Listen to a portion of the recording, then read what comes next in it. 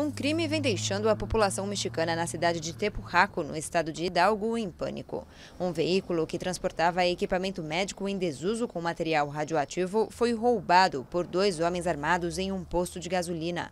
As autoridades, que realizaram uma grande busca pela carga, garantiram que o material continuaria devidamente protegido desde que não fosse violado ou manuseado.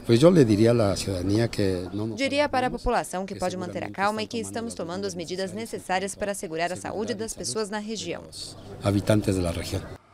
De acordo com a Agência Internacional de Energia Atômica, o caminhão roubado transportava uma fonte radioativa de cobalto 60 utilizada em radioterapia. A agência lembrou que o material não pode ser usado em uma arma convencional, mas poderia ser empregado nas chamadas bombas sujas.